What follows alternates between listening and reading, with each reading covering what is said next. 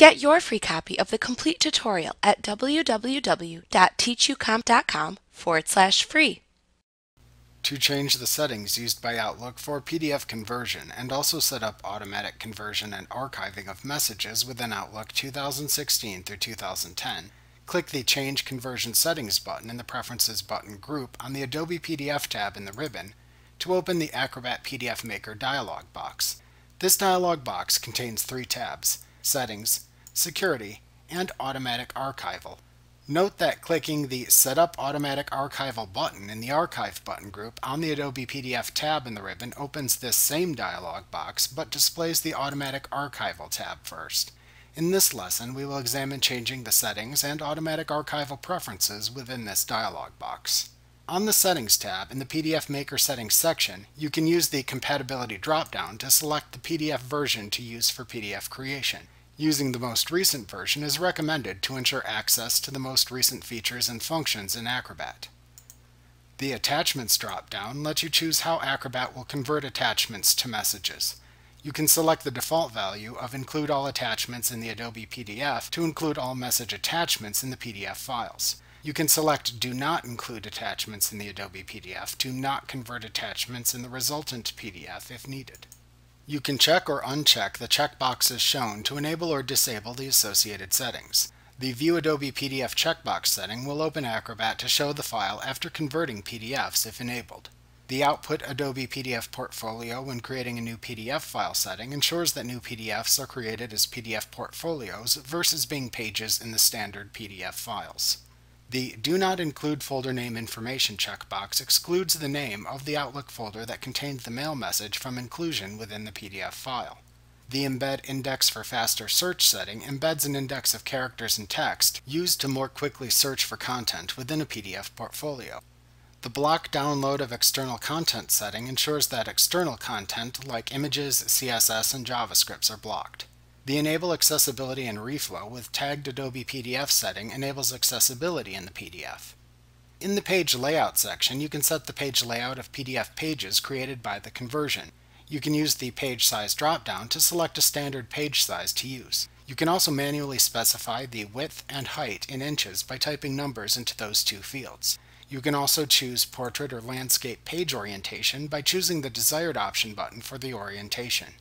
You can set margins for the page by typing number values measured in inches into the top, bottom, left, and right fields under the margins label.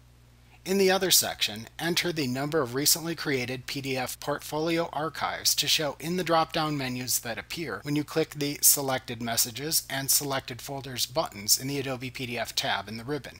You can click the Security tab to choose the default security level applied to newly created PDFs in Outlook.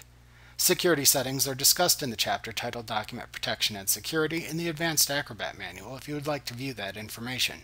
You can click the Automatic Archival tab to enable automatic archiving of selected Outlook folders on a regular basis. To do this, check the Enable Automatic Archival checkbox in the Automatic Archival Settings section. Select the frequency with which to archive messages by choosing a Frequency Option button. The choices are daily, weekly, or monthly. If you select weekly, use the adjacent drop-down to choose the desired day of the week. If you choose monthly, select the desired day of the month to perform archiving from the adjacent drop-down. You can then specify the time of day to perform archiving by entering it into the Run At field. To maintain a log of the automatic archiving, check the Maintain Log of Archival checkbox. To create the archive log file and choose where it will be saved, click the Choose File button. In the Save Log File As dialog box, select a save location and type a name for the log file into the file name field. Then click the Open button in the dialog box to set the log file.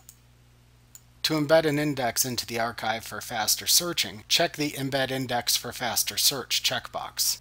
To then select the folders to automatically archive, click the Add button in the Choose Folders for Automatic Archival section.